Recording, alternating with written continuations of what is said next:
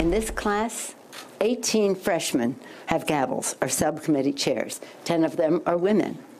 We have seven women chairs of full committees, 39 women chairs, 39 women with gavels of chairs and subcommittees, and maybe even more. And so it is pretty exciting. So this, this caucus, which is a 60% or more women, people of color, LGBTQ, comes together. As I say to them, our diversity is our strength, our unity is our power. The most diverse freshman class of the House of Representatives has been busy on its first 100 days in the majority. The group of more than 60 new Democratic members have captured national attention and tested the Trump administration's leadership.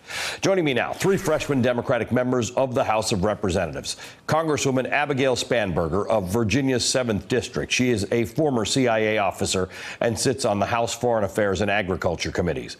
Congresswoman Abby Finkenauer of Iowa's 1st District. She is a member of the House Transportation and Infrastructure Committee. And Congressman Harley Rouda of the California's 48th District. He is is a member of the House Oversight Committee. All three flipped their districts from red to blue. Welcome to all of you. Congratulations on your first 100 days. Representative Spanberger, let me start with you. You have deep expertise okay. in this country's intelligence. Uh, uh, you have walked into a government that has probably been disrespecting our intelligence community more than uh, than in recent history. And you have to go there and share with your colleagues what you and your colleagues in the CIA and elsewhere in the intelligence community actually do. How so many of you work without recognition? How many of your colleagues have died without recognition? How has that been for you? Well What's been really tremendous is having the experience of talking with my colleagues, uh, particularly the freshmen, and, and being a resource for them, talking about the experiences of what it is to be an intelligence officer, how it is that the intelligence community uh, works to ensure that we're providing good or um, and well-sourced information to leadership in Washington so that they can make good informed decisions. Um, it's it's been a real challenge watching the way the administration has disrespected or um, not acknowledged the value of intelligence and the intelligence community because truly at its core the, the goal of, of any intelligence officer is to collect really good information to help inform the decisions that policymakers are making that the administration is making and um, I hope we move towards a place where we see leadership valuing all of the information uh, that they possibly can obtain so that we can make good decisions for we this know, country and for the American people. We know that when there are scientists in Congress there's better science policy. We know when there are doctors in Congress, there's better medical policy. Uh, will we understand intelligence better because of people like you?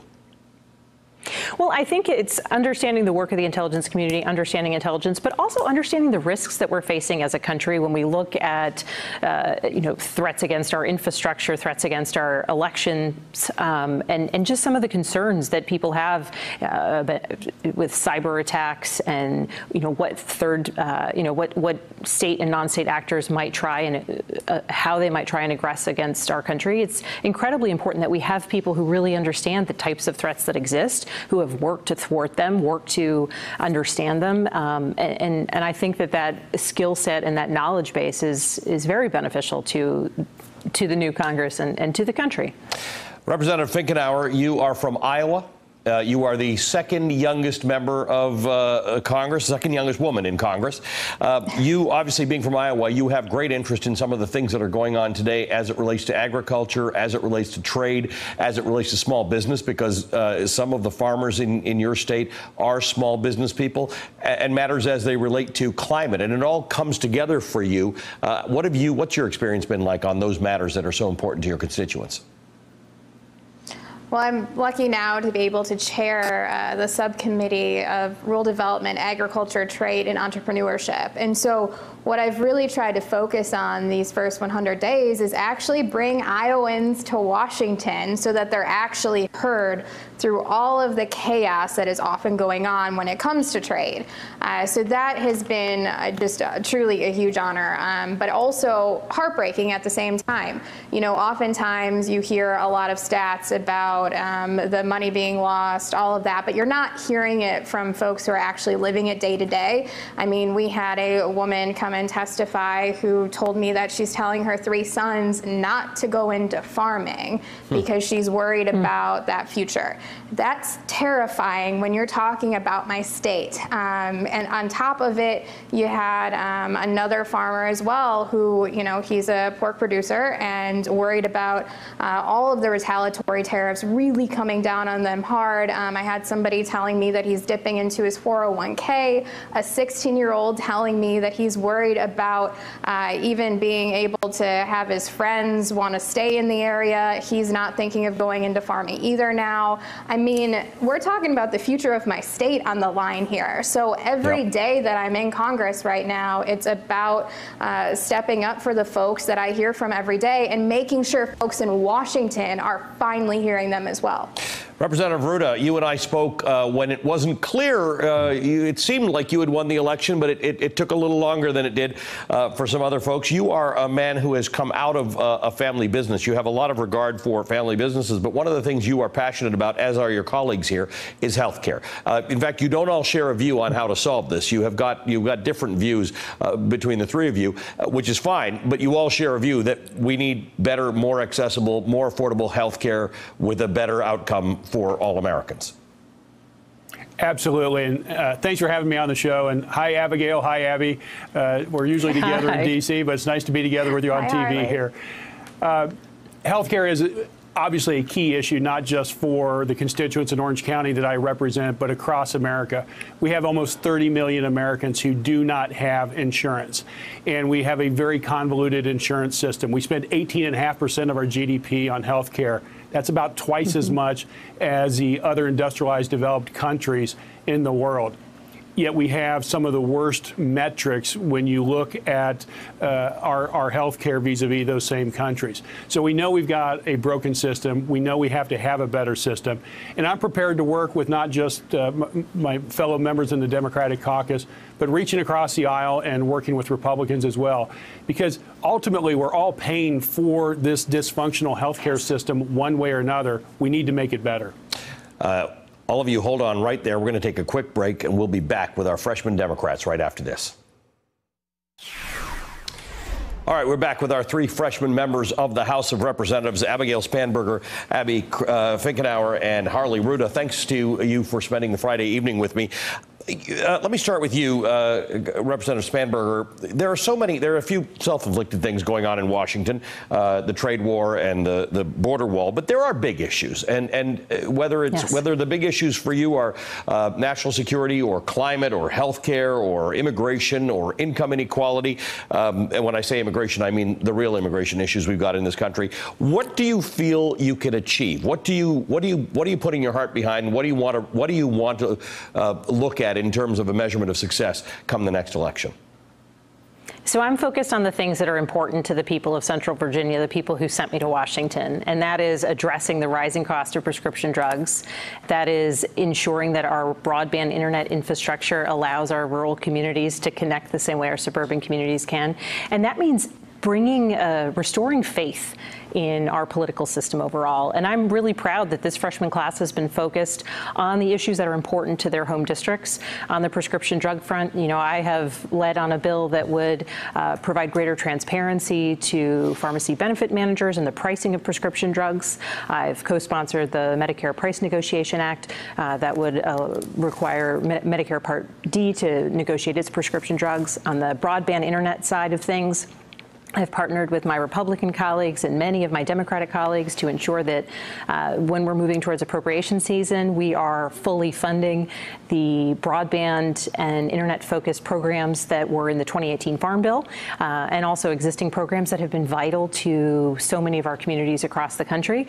And of course, there was our campaign finance and good governance bill that so many of us joined together on because across our campaigns, we heard that people just don't necessarily have a strong mm -hmm. faith in those who represent them. And, and for me, back in Central Virginia, it's also about being accountable. So we've done uh, three town halls so far. I've got two on this uh, district break uh, upcoming this next week and the week after. And I want to continue being engaged directly with the people who sent me to Washington so that I make sure I'm addressing the issues that are important to them. Representative Finkenauer, I know you are obviously you're, you're, interested in the issues that you you are on the subcommittee for, that you're chairing the subcommittee for on agriculture and entrepreneurship. Um, when you go back, when you are uh, in, in, your constituency, uh, how do people, how are they responding to this new Congress? Because so many people in this country are frustrated with politics in general. Are they excited by the idea that something different might be happening? They are. You know, uh, a lot of people talk, you know, about what did 2018 mean, and uh, a lot of folks think it was a referendum on the president. And I think, very specifically in my district, it was a referendum on the chaos and dysfunction of Washington, D.C. So uh, when folks are coming to talk to me, when we're doing conversations with your congresswoman, where we're literally having kitchen table like conversations where uh, we're going back and forth, sharing ideas, just like I did as a little girl, where I'd sit there with my grandpa, who was a Democrat, and uncle, who was a Republican, and we'd have these ideas, and uh, we could, you know, disagree, but still respect each other at the end of the day. And I think that's what they're starting to see, especially from this new freshman class and a lot of uh, the members that helped flip these seats. Uh, we listen to what folks wanted in our district, and what they want is us to go get something done. And so uh, we're talking about investing in transportation and infrastructure, which is desperately needed. Uh, you know, when you're talking about Iowa in particular, we've got the most structurally deficient bridges in the entire country. That's not a Republican or Democratic issue. That's just a good government issue. We're talking about broadband and making sure that we have that in every corner of our state. Uh, you know, for our farmers with the precision, precision ag that's uh, that's new and um, obviously a big part of the future of agriculture in our state and in the country.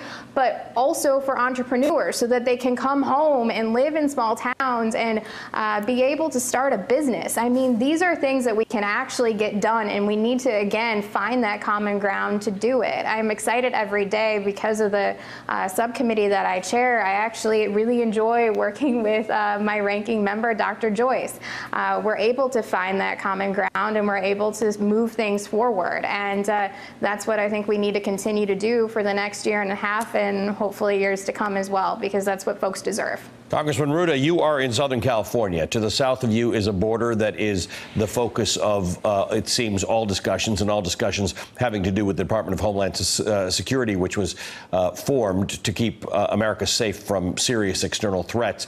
Uh, wasn't formed as an immigration agency. To the north of you, in Northern California, you have um, uh, Silicon Valley, which is desperate for more talent and, and, and puzzled by the fact that people who they think the break in immigration is something entirely different than Donald Trump does.